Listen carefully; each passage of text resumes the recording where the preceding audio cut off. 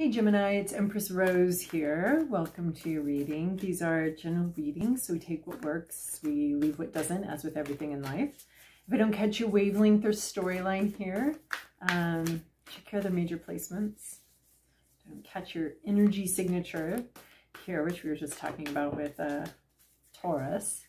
Um, check your other major placements. See if I can't catch a, anything there that makes sense to you or feels useful to you or feels good to you to hear. All right, we're starting with the Oracle cards, the uh, Moonology and Work Your Light. And then we'll move on to the Muse Tarot for a more traditional tarot spread. All right, um, although the Muse Tarot is not entirely traditional. Ooh, oh, Aries just got this one. I personally just got that one. Um, okay, you are on the move. You know what you want to do. It's just time for you to do it. This is not an uncommon theme so far. We have dance with life. Do something to change your energy. So changing our energy, we can do that with breath work, different breath exercises. Um, there's some really cool apps um, that help acquaint you to breath work. Uh, so changing your energy, through that, through movement, moving your body, physically changing your energy. We can also emotionally change our energy. Some of the easiest ways to do that are music, uh, watching something, engaging with some sort of story that takes us out of our energy and brings us into someone else's energy. Music is an incredible way to change your energy. It's change the energy in a room. It can turn my my car into a stressful situation into basically a, a spa where I'm just relaxing as traffic doesn't move at all and I'm just gonna chill here with my with my Reiki music and enjoy that. So changing the energy, changing something up. This is also about changing the way you approach something, changing uh, maybe an attitude or maybe even the actions. I'm seeing a lot of action here. So you may be changing your energy from passive to active, from imagining to creating, it from um, from the rest of these all really point to changing to, to a more active energy from a more sedentary dreaming energy, both of which are very important and required um, in movement in life. So we also have emotions are running high, supermoon, something's really obvious. It's so obvious. Um, it's so clear. This is this isn't the sun card because it comes in the moonology, but this is basically the sun card. This is like as big and as bright as that moon can be. It's clear. There's some clarity here. There's some obviousness. There's, there's a, how you feel is real clear. It's not hidden. There's not a secret uh, feeling here or a secret something. It's just emotion. And it could be, a, you know, a high key emotional thing where you do want to change the energy, maybe take it down a notch. Not that high key emotional energy is bad, but just sometimes um, when we base actions and activities off of it, uh, we can head off in, a, in an unhelpful direction. So, um, so we this emotions running high, um, and you might want to flow with that though. Maybe that maybe you've been waiting for this burst of inspiration. Maybe you've been waiting for this burst of energy and emotional power to to push you towards something. So allowing allowing a flow of emotions too, right? Our feelings can change. Um, you know, sometimes people are like, "Oh, I'm not sure if I'll."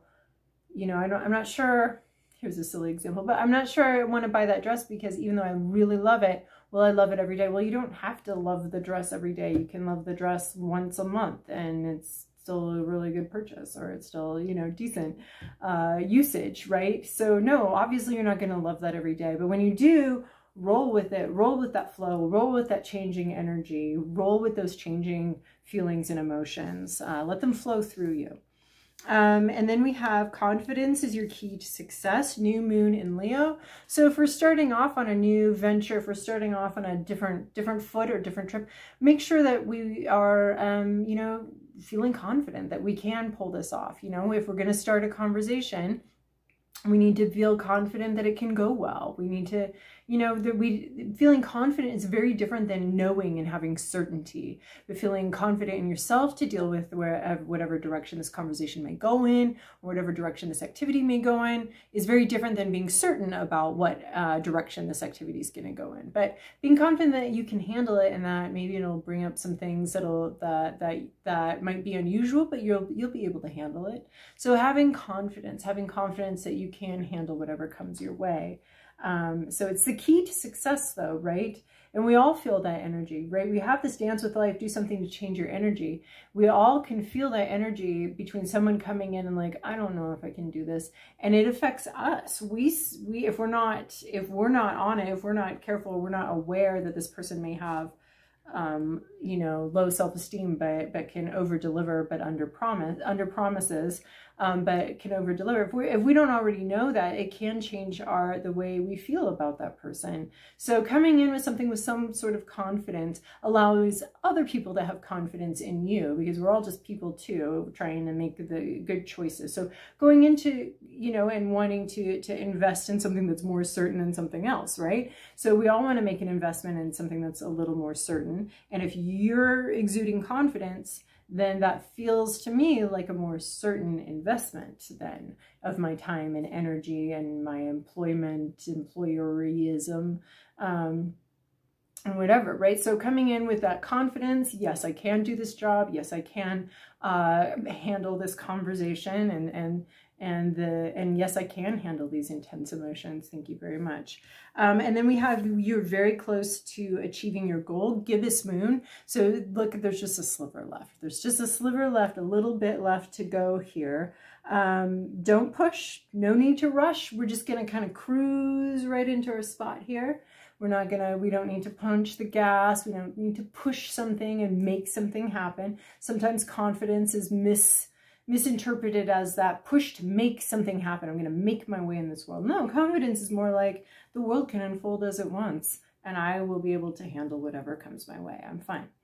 I can do this. I can handle this and I can make moves when the door opens and I can withhold when the door is closed, right? So this is, you're very close to achieving this goal, your goal. Do not push anything. Don't shove anything. Don't don't uh, you don't need to you can still make moves because we do have a move called for here but it's a very gentle move.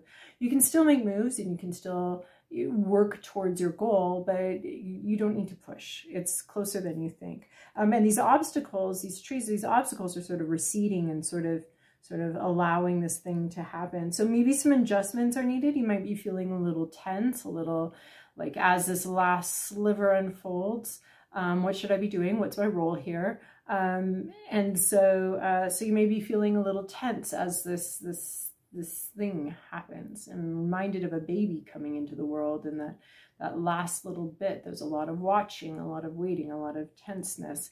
You don't need to push, um, which is very funny because your body pushes for you if you allow it, if you're able to allow it and you haven't been medicated, which is, you know, not to dismedication. It's just much more natural to push and, and it's very hard to resist that natural movement of the body if you're not numb.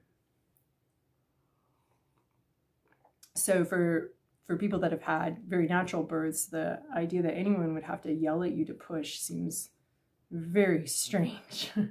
You'd have to yell at me not to, and then and then it would take everything not to. So there's a little bit of that natural process happening but there's a lot of this is this is a moment watching and waiting. You can handle whatever's coming your way. You don't need to no one needs to yell at you to push. It's very obvious uh, what you need to do here. And then we have be bold and make the first move. And this is why I think we're getting very close to achieving your goal. We have something that feels like it's starting but it's almost like the end is starting. The end the the completion of something is starting um, so, uh, so be bold and make the first move. So this is not necessarily be brash. This is not necessarily be pushy. This is not necessarily a lot of ways that this could be interpreted. Um, because we have this, um, like adjustments might be needed. You might need to shift gears here, but you don't need to push. So we're being bold and making the first move, but not in a pushy way, right? It's, there's a very, there's a sense of, of just you having a natural sense of confidence in your ability to deal with anything that comes your way um, it, allows for this to be a very natural movement, right? We don't need to to jump before we're ready. We don't need to to push anything before it's ready. It's all coming in. Um, it's very gently.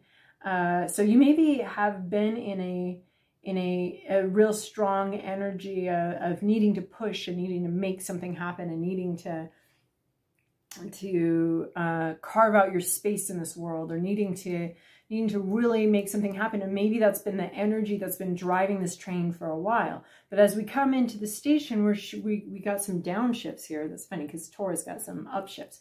But I'm seeing you got some downshifts. Let's just coast into the station. We don't, the pushing time is over. It's time to change that energy from full steam ahead to cruising into the end, right? We've got sort of segments in life, beginning, middle, and end. And this is sort of the beginning of an end segment where we can just cruise through it. But be bold and make the first move might be be bold and make the first move, take the foot off the gas, right? Um, so there's that possible interpretation for that. So it may take some courage for you to want to shift gears into something. It may take some, some courage for you to do that. So that's where our boldness needs to come from. And making the first move, initiating something, changing the energy, right? We're asking you to change the energy and sort of dance with life and you change the energy. So you make that movement to change the energy, but no pushing. Just this is a very natural, natural process here. Um, but you're you're changing the energy um, of a situation. Not that it's been bad, but you're changing that energy and you're doing it very gently. Um, because I think that it's it's on purpose of these two cards. You've got to do something or you've got to make the shift uh, in the situation, but um, but you do it real gently. All right, we've already shuffled these cards, so now we're going to break them. And if you were here, dear Gemini, you would break them, and then your energy would be on these cards. And be that we're approximating that with this, this situation here. Past, present, inner landscape, what's the issue, your environment, to-do list, possible outcome. I love this Fool card showing up all over the place here um, this week. She's just traipsing through everybody's readings, just skipping along here, uh, showing up everywhere. So, in your recent past, we have the Fool card. You took a leap of faith. It was scary. There was fear. Uh, because it's not a leap of faith unless there's fear. There's no such thing as faith unless there's doubt first. There's no such thing as courage unless there's fear first, right? Um, so there, there was some risk there was a lot of thought that went into it. It wasn't like a pure impulse.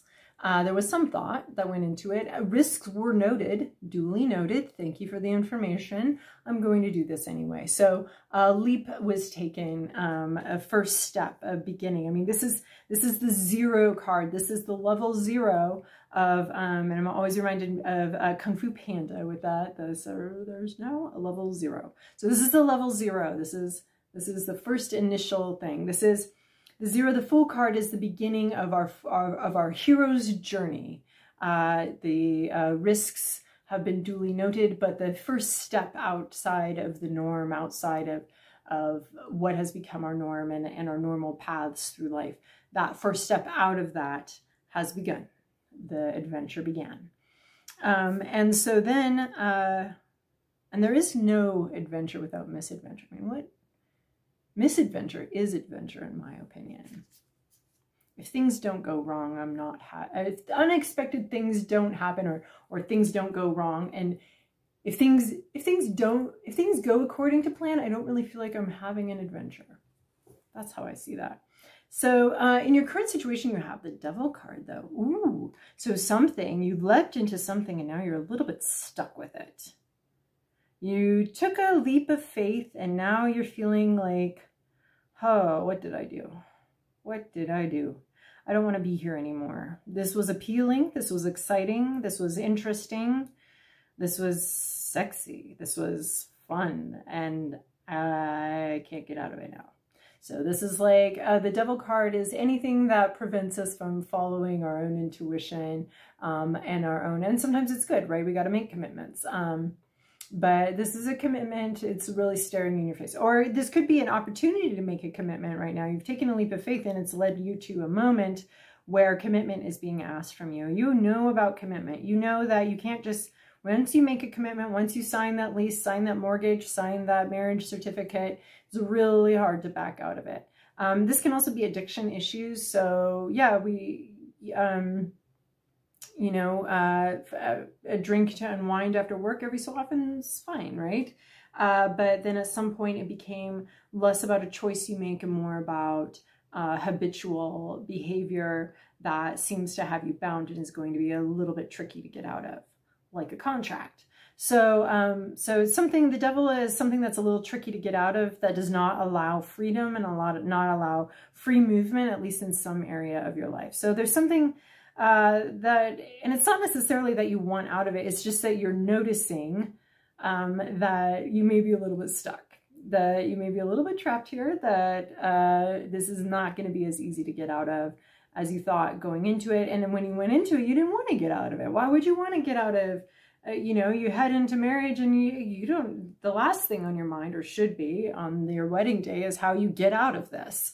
Um, so, um, so that's a little bit like, oh gosh, how do I get out of this? How do I get out of this situation uh, that I'm in? And I've made, you've made some sort of commitment or some sort of, some sort of habit has been formed or addiction or commitment and it's just not going to be super easy to change. You're just, you're really noticing uh, this is not going to be easy to get out of.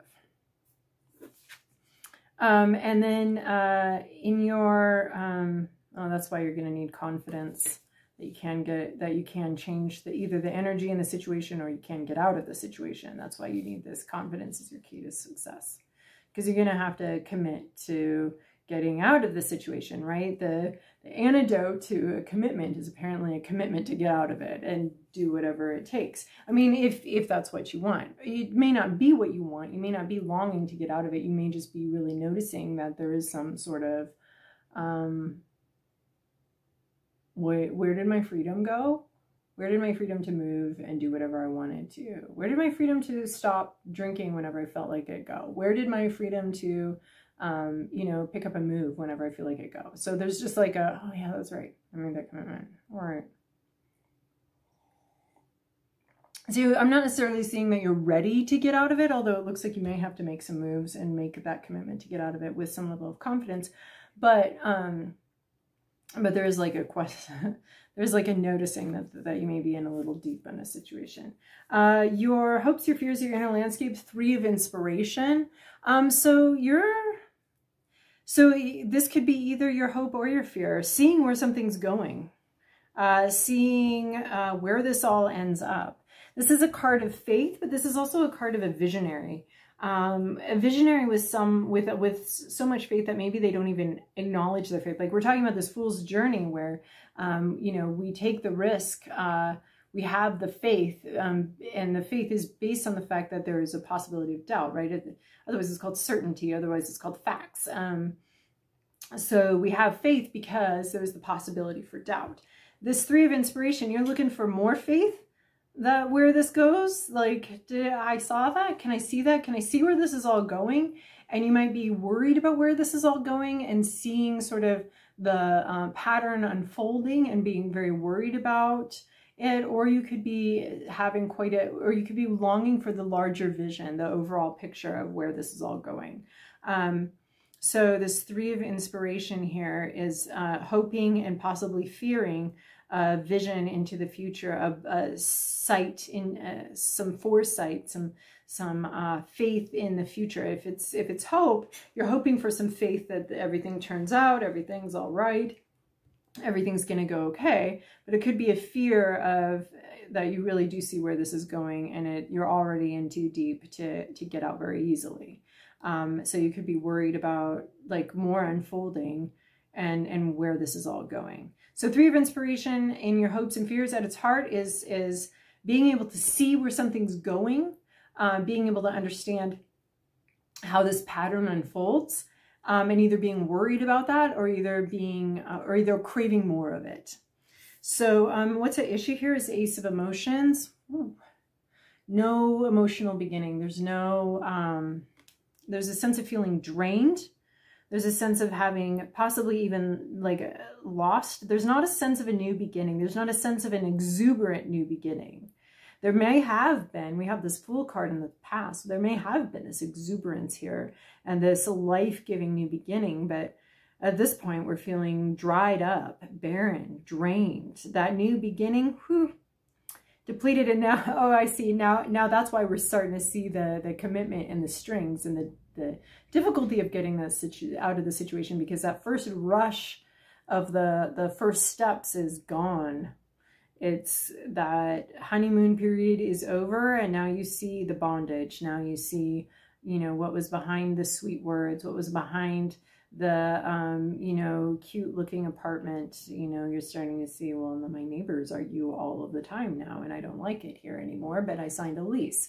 But I didn't see that at the beginning. I, I knew there was a possibility I'd have some crappy neighbors, but did not understand quite and this it's not going to get better with them. So how do i get out of this? So you're feeling the the love is gone here. The honeymoon period is over. The you know fog of ecstasy and something new has cleared and now we see the the desert and the jagged cliffs that it was hiding or you know you're just starting to see the reality of the situation at first there was a lot of excitement and now there's a sense of um, the thrill is gone and uh, and the reality is sort of setting in here. So you're either hoping for like some new sort of burst of faith in the situation or you're you're worried that it's going to unfold in, a, in an unpleasant way. So, um, oh, this reading just gets better and better. All right, Gemini, uh, in your environment, you have five of voices. or some sort of situation where uh, difficult choices, hard choices, almost impossible choices.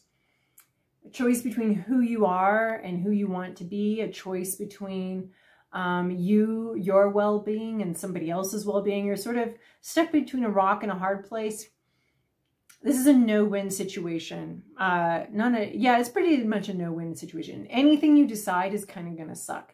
So there's a situation um, where there aren't really good options. There's not an easy, it's exactly this. There's not an easy way to get out of this.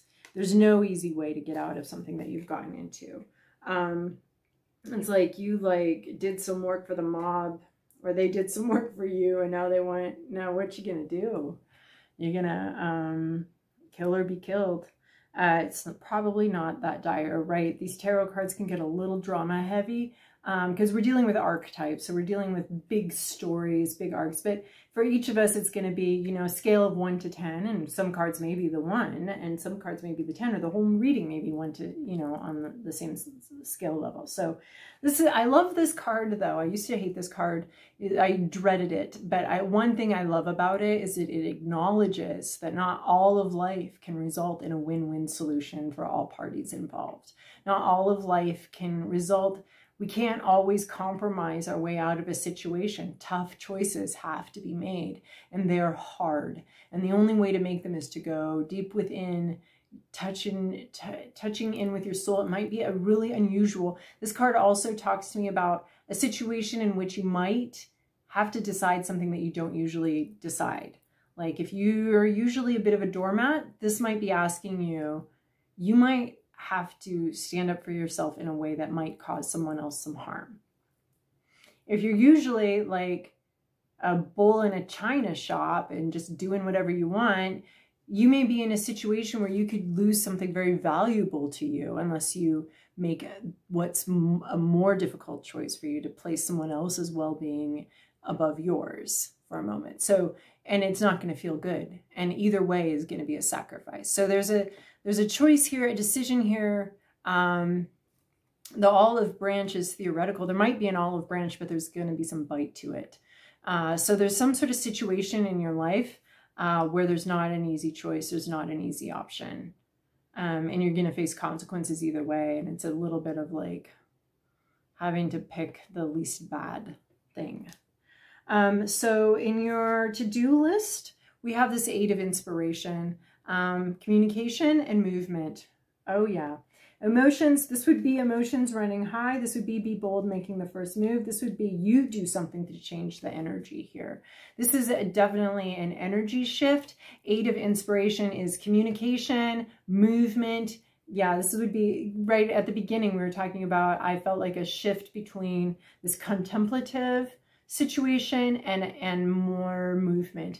This is movement. This is talking, moving, communication, move, get, getting something moving. We're going from zero to 60 in 2.5 seconds. It's, it can be very exciting and very thrilling, but this is mixed with this, this is a call to action. You've got to, you've got to move here. Um, you can't, fish or cut bait sounds really weird, like fishing's so sedentary and cutting bait seems so active. But maybe that's a little bit of what's going on here. Right, where fishing also could be perceived as anyway. It's it's you got you gotta um you gotta move. You gotta make a move here. Uh, be bold, make the first move. You've got to open up a conversation. Um, you've got to like make some physical movement. Um, again, this doesn't have to be brash, rash, ill-considered, uh, um, you know, impulsive. There's nothing here that says this movement has to be impulsive. In fact, we know there's been a lot of thought and a lot of going within, but you've got to move now. This is eight of inspiration. This is the energy. You're looking for your opening. You're looking for your opening to move, to make this movement happen. And then what we have here in your possible outcome on everybody else, another favorite card, you guys. Uh, Seven of Voices. Um, there may be secrets revealed here. Maybe you're revealing secrets. A silence is broken. Uh, something that was hidden is revealed. Something that seemed um, to be going a certain way is no longer is is um, revealed. This can also seven of voices can also be like you need to camouflage your actions and your behavior, especially if the consequences are going to be outsized. You need to talk about something, but then this is not talking. That's a possible outcome. If you don't talk about it, then we just keep going here with this lies, secrets, not talking about something. Um, lies, secret, and controlling the situation through not talking. So either someone's going to be doing that, or after communicating, you realize that whatever party or whatever situation you're communicating with isn't going to budge um, you may need to be now silent and make your moves quietly. And, um, and you said your piece and now just do your deeds. And uh, this, this can be, Seven of Voices can be a call to win at all costs.